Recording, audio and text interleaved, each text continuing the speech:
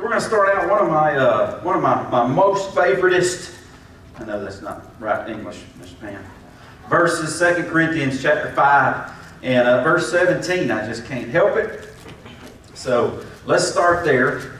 And th- this uh, is a little message I put together about six, uh, a little over six years ago, and was going back through some notes, and I've, I've overlooked it a bunch of times, but uh, but for tonight, that's kind of what the Lord pointed me to. But if we're going to talk about the battle, uh, the constant battle, the constant need of renewal, and and that's in mind, heart, and soul, everything together and that produces strength. The Second Corinthians chapter 5 and verse 17, uh, you know, we ought to have that memorized by now, right? Therefore, if any man, if any person be in Christ, that's the first thing. There is no other name, no under, no other way to, to, to salvation. Must be in Christ. So, if any person, any man be in Christ, he's a new creature. Old things are passed away. Behold, all things become new. And that's, you know, people sometimes will question, question their salvation, and I guess maybe nearly every one of us as a Christian have at some point or another kind of question because of a decision that we made or, or didn't make or, or whatever. And but we need we, we have to look at the overall picture. You know, I tell people come to me a lot of times. People come and says, "I just don't think I'm saved, brother Jason," and and uh, and we always talk. You know, let's let's let's talk about it. Let's go back to to, to when you thought you got saved. And, and, and look at that trend. And, you know, has God made you a new creation? See, we're, we're not perfect yet. We have a perfect Savior, but we're not perfect yet. You know, that's that, that sanctification process. See, salvation is one and done. Sanctification is a process we grow, we mature. And, and so he makes us a new, a new creature. And old things are passed away, and behold, all things become new. And, and, you know, has there been a change in your life? Has there been a desire shift in your life? You know, I had a desire at, at one point when I was in college, you know, to, to, to just, just act like an idiot, right? Party, drink, cut up, do dumb. And I had a, but I had a desire to do that. And God took all that away, and He gave me a new desire because he made me a new creation. And, and, sometimes, though, sometimes we, we easily forget sometimes how we were. You know, at work, we like to say, oh, he's done, he done forgot where he come from. Or she forgot where she come from. You know, somebody's moved way up in management or whatever, and, and they forgot what it was like to be down here on, with the boots on the ground. And, and sometimes us Christians are that way too. We forget. We forget the, the, the, bad decisions we made after we got saved, even. And, and, and we forget and we look at people and, and we, we start condemning and we start judging and we forget we ain't perfect still, even yet. But God has made us a new creation. All your desires should have changed in a direction towards Christ. Not saying that everything you were before was bad, um, but, but there should be a different desire for Christ. So, uh, you know, God's not finished. And just want to read the notes here because it's, it's written really well. Um, it says Christians are brand new people on the inside, right? We, we have the Holy Spirit within us. Gives us new life. We're not the same anymore. We're, we're not reformed or rehabilitated or re-educated. We're new. We're a new creation is what the Bible tells us. And, and we're living in union with Christ. We're not mere, merely turning over a new leaf. We're beginning a new life under a new master.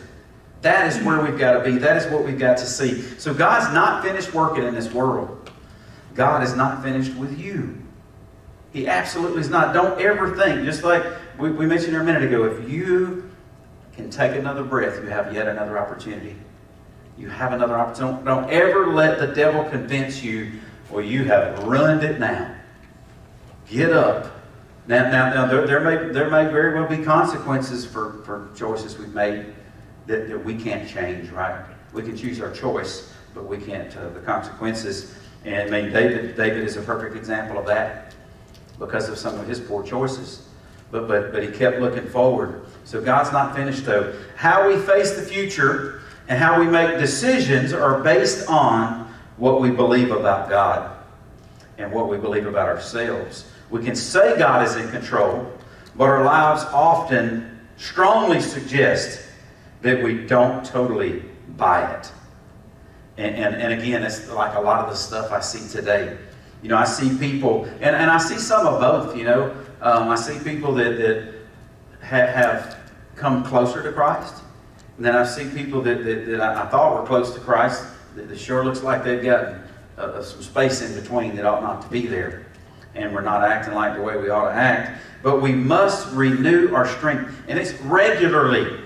I mean, and we talked about, you know, going to the gym. We talked about that. Beverly's not here tonight, so I can't pick on her. But if, if all you do is go and bench press once a week, Nikki, right? All you're going to do is get sore again every time. You're never going to work out of it. You're never going to get any stronger. You're never going to accomplish anything other than somebody saw you in the gym. And that's how I feel like a lot of Christians are, right? They just think, well, if I come every now and then, I can say I've been. And, and but, but, we, we have to go and we have to do things the right way for the right reasons. I mean, we've got to get into the Word of God, and it is regular. That is what this is a midweek recharge, is what it is. Amen. A midweek recharge, and, and you know, there's so many opportunities to fellowship and grow. You know, we had we played. A, I, I, I was Melissa was texting me on, on Monday. Well, when are you going to get here? When are you going to get here?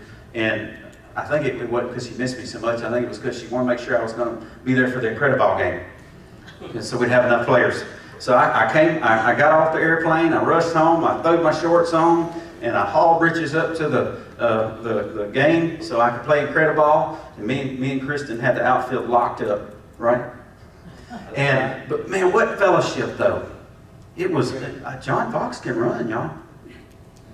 That boy, he can get after it. But man, just so many opportunities to grow in Christ, to, to, to, to lift each other up, to have fun together. Because so many of us, what we, you know, we just we, we act like it, it, ain't no fun being a Christian. And then people see that, they're like, what? What's all about that? I, I had a blast. Uh, my legs are sore, but but I had a blast at that game. It's constant. We've got to regularly grow and renew ourselves. Let's look at Romans. And, and pretty much all of these uh, are going to be real familiar verses that, that we've been through, I preached on multiple times, used them a bunch of times. Um, but, you know, I, have read through cover to cover here, and, and it's, it's, you know, it's a common theme in every book in the Bible. Anybody realize that? You know, Jesus talked about the same thing that Paul talked about, that, that Joseph talked about, that Peter talked about, that it, it's, it's, it's all his word, right? Romans chapter 12, verse 1 and 2 the Word tells us, and, and th this is a whole chapter and, and section talking about how to behave and personal responsibility and being a living sacrifice. It says, I beseech you, therefore. So he's talking to the Christians here, and that's what a lot of people don't realize. A lot of lost people read the Bible and, and they say, I just don't get it. Get saved. And then come back and let's talk. And, and the Bible is written predominantly to a Christian. Now, now it's written for a lost person, but it's predominantly a letter to a Christian. So right here is one of those times, very, very specific. I beseech you, therefore, brethren. He is not talking to lost people right here. Um, he's talking to brothers and sisters in Christ. By the mercies of God, that you present your bodies a, a, living sacrifice. Holy, see, because there's only one that died and was the perfect sacrifice. So, so you don't have to worry about that. You need to worry about being a living sacrifice. So he says, you, you present your bodies a living sacrifice, holy, acceptable unto God, which is, he said, that's just reasonable, reasonable service. And he takes it a little bit further, and be not conformed to this world. And I'm telling you, the, the, the, the devil is all up in this, this mayhem right now. He wants the church to turn on itself. I mean, what better way to, to, to, to, to kill our witness than to do it from within the church. That, that, that's where it happens. I mean, you go and, uh, you know, you, you, you read about any old battle, you know, and these big castles, and there was always a cornerstone uh, in these buildings, and Jesus is referred to as our cornerstone because without him, you have no foundation. So, in, in a, and, and you see it portrayed in a lot of old movies and stuff, and they get to the, the cornerstone, the pillar, you know, the one that's holding all the weight. If we get that blown, you know, as when, when they went after the Twin Towers, That was by design. They knew exactly how to hit that building to make it fall the way it fell. That, that's all by design. And, and you know, is Jesus your cornerstone? Is he your pillar? Is he your go-to when things are good or when things are bad? If you're not careful, you're going to be conformed to this world. You have a lot of opportunity right now because there's a lot of negative. Lots of negative out there. And, and I mean, you watch any uh, movie of when it, where it's got a group of like superheroes, right? And what's the bad guy always try to do? He always tries to get contention between the good guys. And when he does, it creates this negative energy. I mean, it's, it's, it's classic. It's a classic move. It's in, it's in all kind of movies. But, but that's, that's the devil's best play. I mean, what did he do? He went to Eve.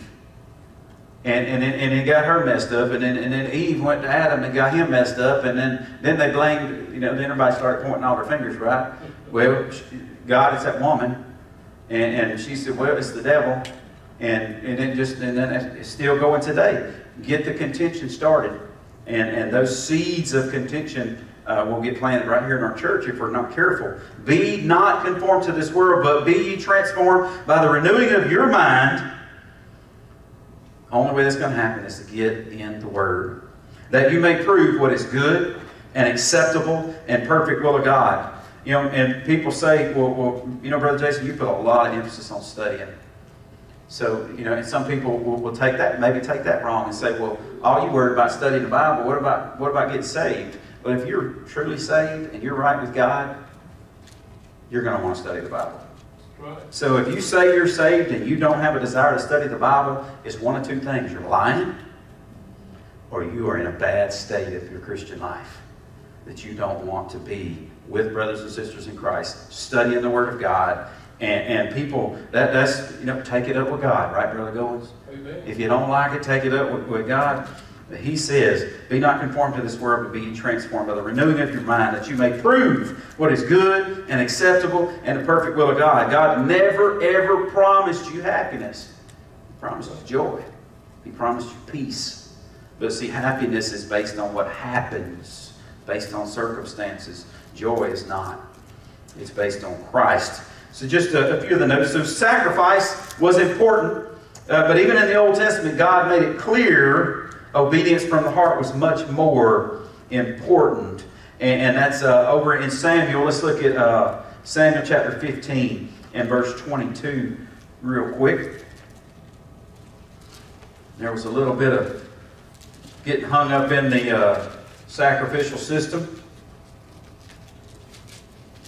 So 1 Samuel chapter 15 and verse 22. Then Samuel said, Had the Lord as great delight in burnt offerings and sacrifices as in obeying the voice of God. Behold, to obey is better than sacrifice, and to hearken than the fat of ram. See, the sacrificial system, I mean, that was a major, major deal back then. So if, if I could compare that to something nowadays, it would be, well, I mean, I come to church every Sunday morning. I mean, my goodness, is that not enough sacrifice? And that's, you know, that's kind of the mentality we get. And, and, and, and, you know, God says, well, if that's the way you feel about it, then stop coming. Because you ain't getting nothing out of it anyway. And that's where, so they were, they were really hung up on the sacrificial system. And, you know, we, we read uh, in the scriptures where, you know, King Saul had uh, not listened. And, and, and that was one of his excuses, right, for hanging on to some of the animals and things. And, and he says, oh, we need some to sacrifice, right? Because sacrifice, sacrifice is important. And, uh, but God told you to get rid of everything. And sometimes we'll do that. We like to hang on to some of those little things in our life from our past, some of those little maybe habits, some of those little things that we like to do, places we like to go that we know are no good. God says you need. I told you to get rid of all of it, every bit of it, all of it. Get it out. So he says, "Behold, to obey is better." Than sacrifice, as important as the sacrificial system was in, in Samuel's time. And all the whole sacrificial system did was point to one. It pointed to Jesus. See, they kept having to redo them sacrifices and go over and do it over and do it over and do it over because it wasn't sufficient. It pointed to Jesus Christ. So he says we need to we need to obey. we need to obey. All right, let's look at uh, Luke chapter 9. Luke chapter 9, we're going to look at verses 23 through 25.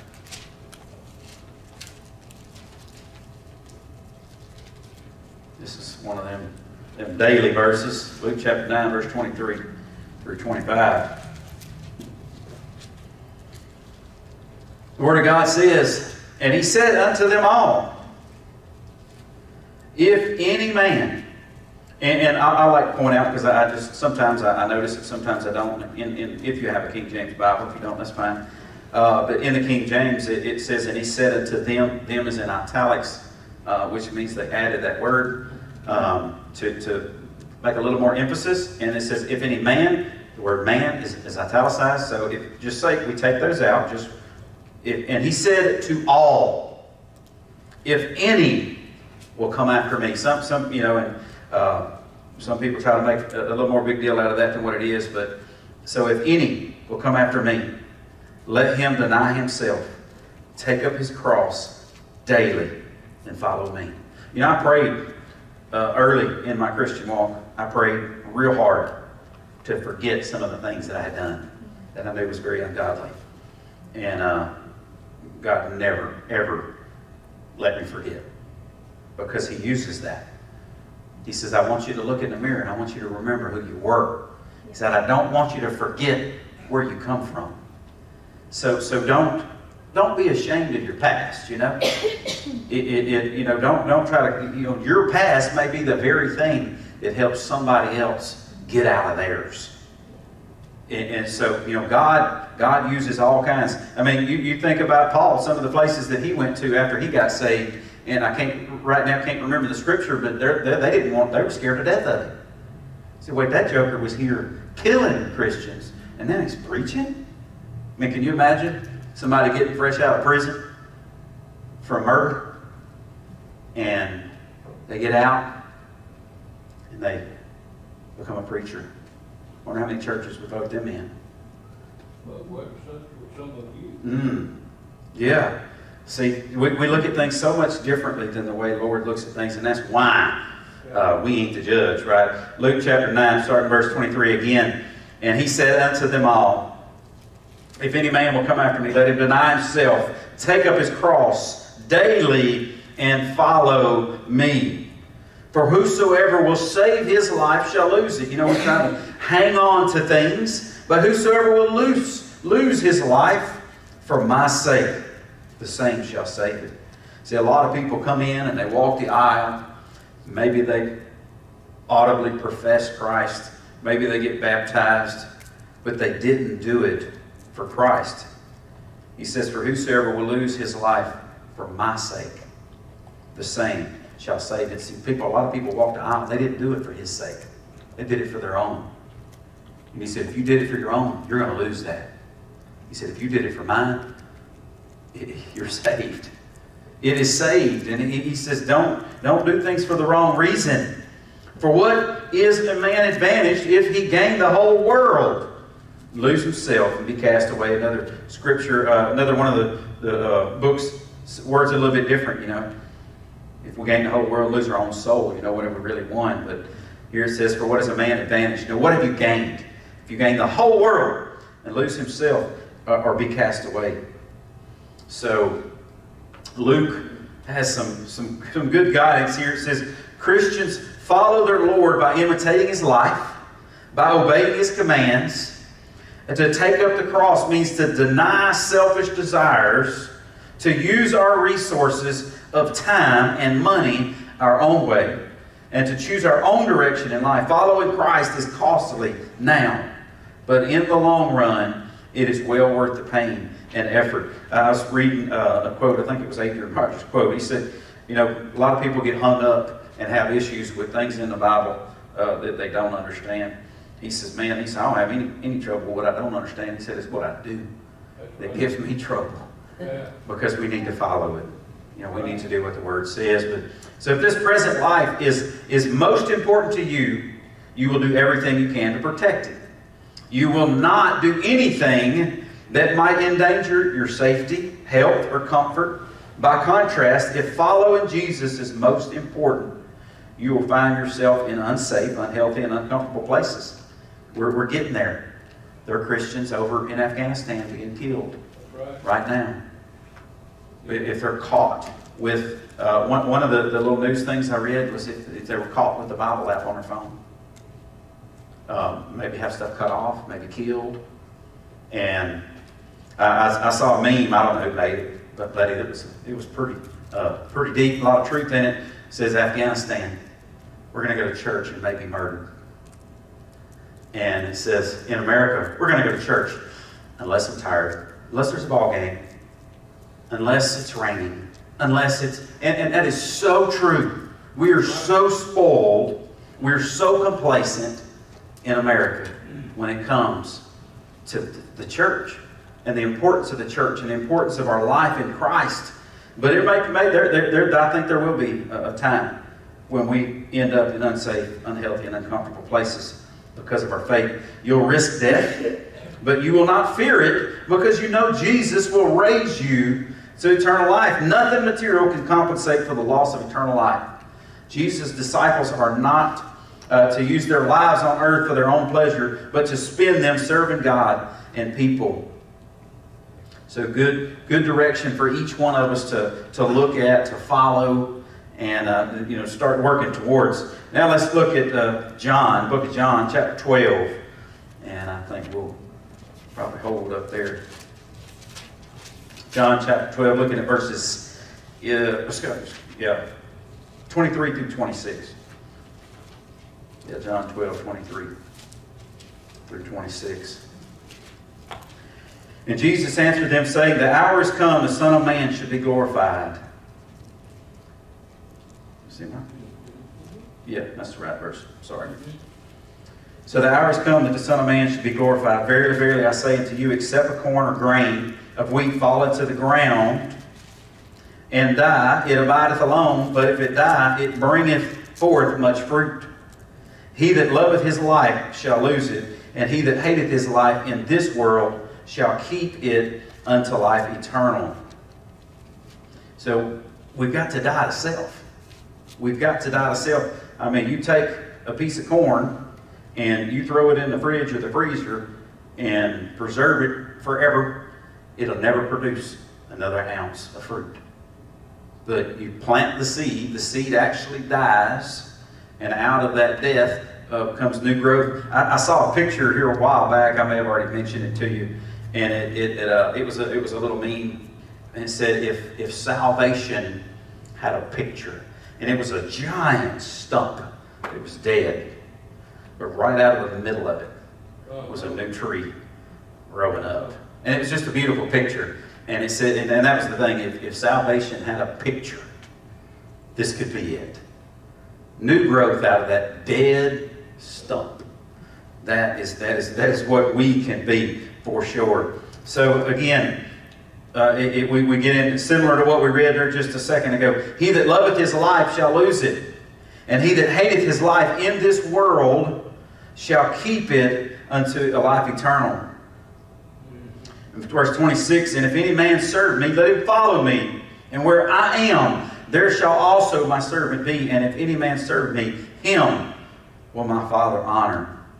So we've got to die to ourselves. And, and, and, you know, and a lot of times we'll, we'll argue with God, but, but, but God, I, I want to do this. God, I, I want to live this lifestyle. God, I want to make this choice. And God says, okay. But you're going to have consequences because of your choices. Now, now um, if we make good choices, then odds are there are going to be good consequences. We make poor choices, there are going to be poor consequences. You know, if, if I could put my finger on one thing I want the church to get mad about, it'd be what was uh, authorized in 1973. And we're, we're, we're nearing 70 million babies in the United States of America. 70 million. Are we really concerned about health in the United States? 70 million. Not quite 70, but we're in the upper 60s. I don't remember the exact number of babies that have been killed. And um, that's what the church, that is the blood stain that the United States has on it. It ain't COVID.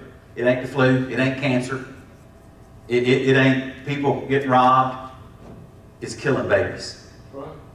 You, you want to talk about saving a life.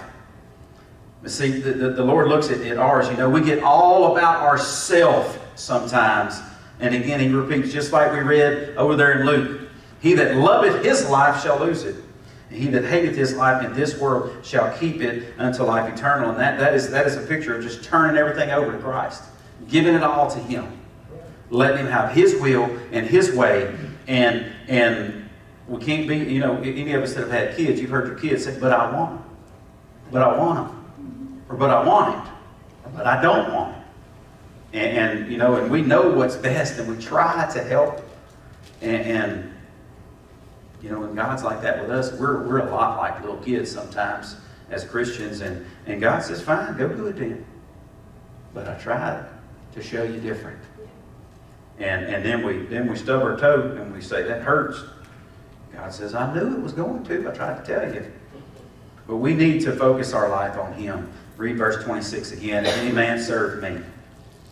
So then, if, if we serve him, we say we serve him, then we're going to follow him. And then he says, you know, I'm going to be there with you. As long as you're serving me, I'm going to be there with you. And that's what that verse is talking about there. So many believe that Jesus uh, came for the Jews only. But when Jesus said, if any man serve me, let him follow me, he was talking to the Greeks at the point there. And then, and when they, you know, they're, they're, we talk about division and racism and all these things, and it was alive in here too. And that's where many times Jesus threw that out and he said, Y'all need to get over all this. He talked, some of the disciples had problem. Man, they didn't like them Gentiles. You know, uh, uh, you know, the, the Ninevites, more people didn't like them, right? And, and it was all in there. And Jesus said, You need to get over all your traditions. You need to get over all your feelings and you need to serve me. No matter what, no matter where, no matter when, we need to serve the Lord. And we're going to stop right there, but I'm going to give you a little uh, homework. If you want to look at Romans chapter 6, and uh, just read chapter 6. We won't look just at a, a, about six, five or six verses there. And then also uh, Proverbs chapter 1. Proverbs chapter 1, if you want to read that one, then that's where we'll pick up next Wednesday. But we have to realize we cannot do it on our own. It is a constant battle of renewal. It is a daily thing. We, we, we read in there about taking up our cross daily. We, we read in there about dying to self. And, and we, we have to take these things, you know, spiritually literal. You know, spiritually literal. We need to die to ourselves. And we need to put Christ first. All right. Let's stand. Be dismissed.